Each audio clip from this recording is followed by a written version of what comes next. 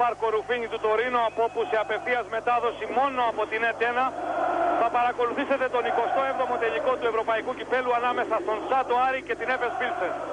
Ε, φαντάζομαι ότι βλέπετε και εσείς πραγματικά τι γίνεται στο Παλάτσο Τελοσπόρ της Ιταλικής Μεγαλούπολης που δεν έχει να ζηλέψει σε τίποτε από το Αλεξάνδριο στις τιμές της πιο μεγάλης του δόξας.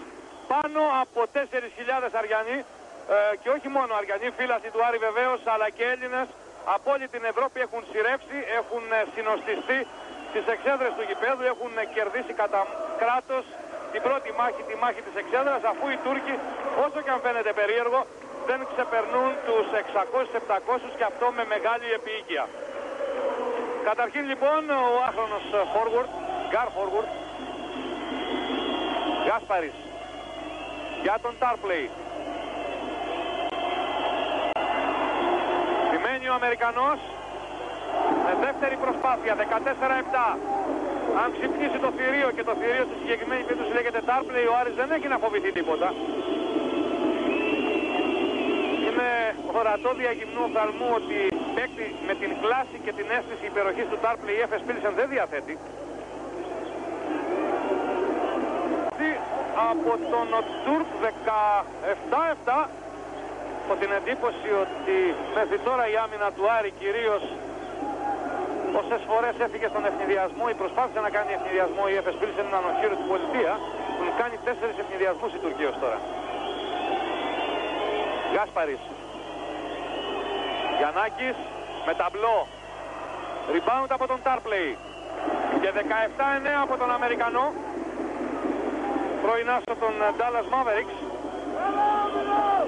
για τον οποίο ο τελικός είναι ένα κίνητρο. Οι τελικοί γίνονται γνωστοί στην Αμερική. Ο Τάρπλεϊ δεν κρύβει τον πόθο του να ξαναγυρίσει στο NBA, να αποκαταστήσει τη χαμένη του τιμή. Γι' αυτό οφείλει να παίξει καλά, να τιμήσει βεβαίως και το συμβόλαιο του στον Άρη. Σαρίτσα απέναντι στον Άντερσον, νέος σου τριών πόντων. Δούλεψαν καλά τα μπλοκάου του Άρη. Το επιθετικό rebound από τον Οστούρ, κόβει ο Μισούνο. Και να ο Άρης ξανά έτοιμος να ευνηδιάσει. Τάρπλεϊ θα καρφώσει 25-23. Με τον πιο πανηγυρικό τρόπο ο Άρης περνάει μπροστά και δίνει την εντύπωση ότι το καλάθι αυτό γεμάτο από την αποφασιστικότητα του Τάρπλεϊ με την υπογραφή του Τάρπλεϊ μπορεί να αποτελέσει την αφετηρία της ε, ανάκαμψης για να πάρει ο Άρης το προβάδισμα και να συνεχίσει χωρίς ε, άγχος. Ρίτσαρτ play στο rebound. Συνέχεια, στην κατάλληλη στιγμή φαίνεται πως ο Έρς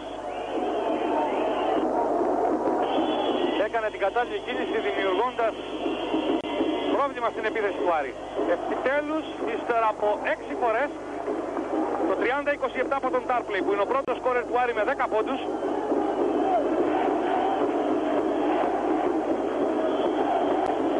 ξανά η προσπάθεια του Αμερικανού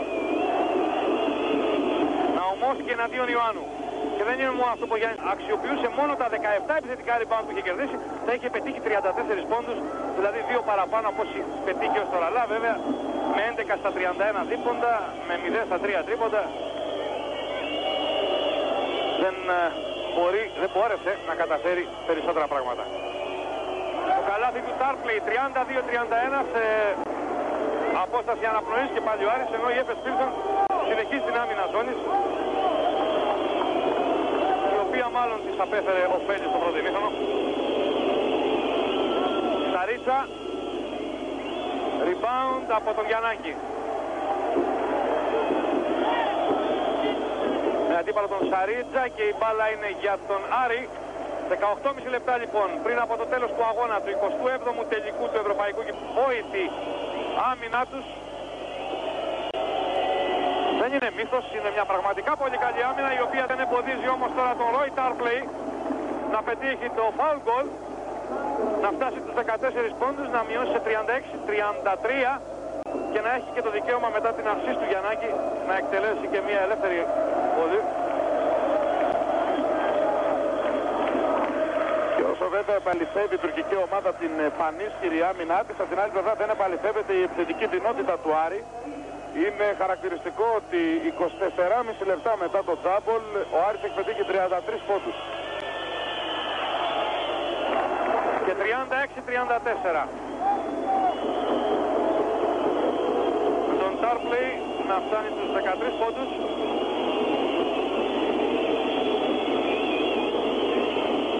Ναομός και εναντίον Βουρτζούμι. Αϊτίν.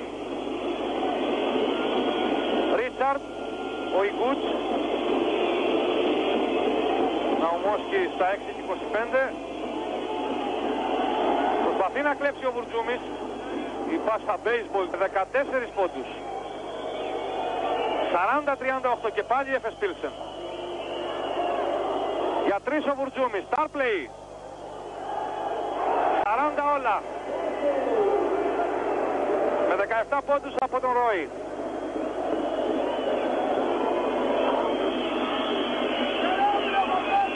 Star play που αντιμετωπίζει ένα μπέσι τον οποίο ίσως δεν νομίζω τον υποτιμά, άλλωστε εκ των προτέρων διέψευσε θα μπορούσε να συμβεί κάτι τέτοιο. Το απέκλεισε Ντάρπλη, αλλά έχει απέναντί του έναν παίκτη χωρίς παρελθόν και χωρίς μέλλον. Με τεράστια διαφορά κλάσεως, βεληνικούς που τους χωρίζει, Ρίτσαρτ και Τάρπλη. Η ουσία είναι πάντως ότι ο Αμερικανός σέντερ του Άρη έκανε το... Ο, ο συμπατριώτης μάλλον του Τάρπλη, ο JJ έκανε το τρίτο του φάουλ. 40 όλα. Αϊντίν Ρίτσαρτ. Προσπάθησε Άρης εκεί να κάνει άμυνα με παγίδες. Στάρπλεϊ στο rebound. Και πάει ο Άρης για τον ευθυδιασμό. Του και πιστεύουν όμως. Τους δύο πόντων από τον Αγγελίδη. Ναι, 42-40. Από τον Τίνο Αγγελίδη η δεύτερη φορά που ο Άρης περνάει μπροστά. Ο Άρης που μπορεί να εκμεταλλευτεί Βασίλη το καλό σου του Τίνου. Αυτό είναι μεγάλη υπόθεση. Αυτό που είπαμε στην αρχή όταν μπήκε ο Αγγελίδης είναι και πιο γρήγορος και πιο εύκολος παίκτης και μπορεί να συνδυαστεί καλύτερα με τον Τάρπλη πιστεύω. Τάρπλη. Γκάσπαρης. Περνάει ο Τάρπλεϊ 45-44. 19 πόντι από τον Αμερικανό. Έχω την εντύπωση Βασίλη Παραμανίδη.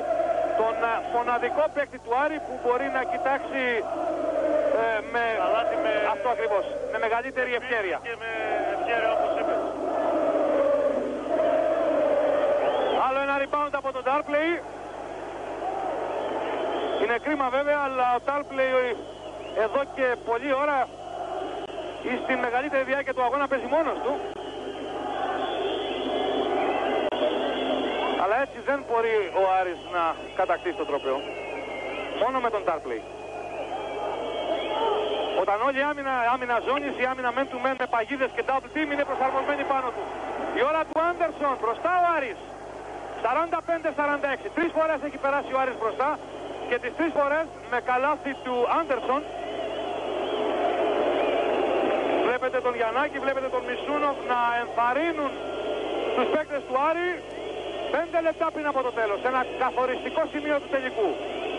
Ρίτσαρτ. Φτάνει να πιστέψουν. Ο Άρης και πάλι μεταξύ φθοράς και αφαρσίας. Μεταξύ σφύρας και άκρονος, πείτε ό,τι θέλετε. Το μάτς, και οι δύο ομάδες είναι κρέμονται σε μια κλωστή και το μάτς ολόκληρο. 48-50. 8 δευτερόλεπτα πριν από το τέλος. Όχι τρίποντο βέβαια. Ναουμόσκι διεισδύει. Ναι! Το rebound το Μισούνοφ. Ναι, ο Άρης είναι κυπελούχος Ευρώπης. Μια μεγάλη στιγμή για το ελληνικό μπάσκετ. 50-48. Είναι παιδικό το σκορ, είναι απίστευτο. Είναι το χαμηλότερο σκορ στην ιστορία των ευρωπαϊκών κυπέλων, αλλά είναι αλήθεια. Ο Άρης είναι κυπελούχος Ευρώπης. Για τρίτη φορά στην ιστορία του ελληνικού μπάσκετ. Μετά τη μεγάλη ΑΕΚ στις 4 Απριλίου του 68. Μετά το μεγάλο ΠΑΟΚ στις 27 Μαρτίου του 91 στη Γενέβη. Και Βασίλη κοντά μας. Η ώρα του μεγάλου Άρη.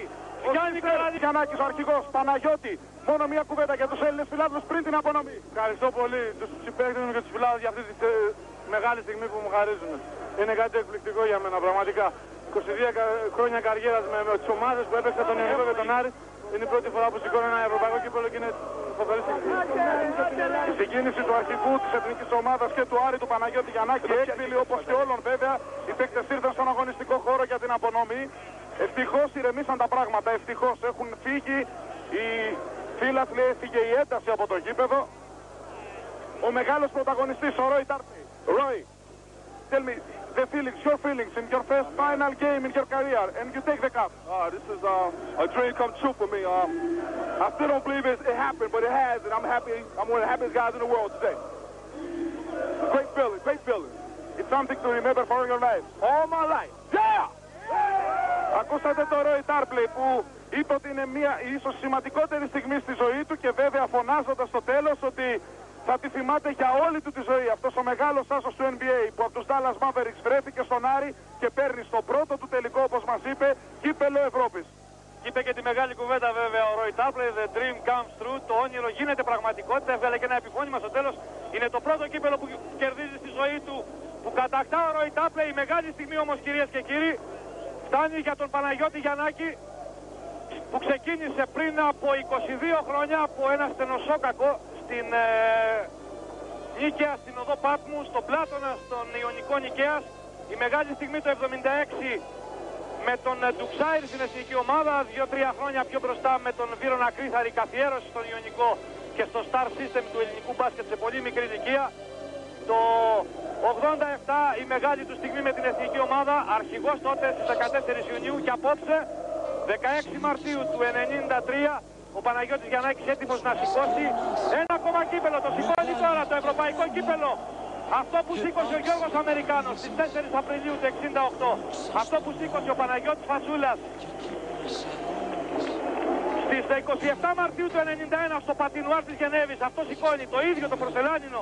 Προσοχή βέβαια να μην σπάσει όπως το έσπασε ο Φασούλας στη Γενέβη. Στα χέρια όλων των ε, πρωταγωνιστών, αυτών που οδήγησαν τον Άρη στην κορυφή, αυτών που χαρίζουν στο ελληνικό μπάσκετ ένα τρίτο ευρωπαϊκό κύπελο για να περιμένουμε βεβαίως στις 15 Απριλίου και ένα ακόμα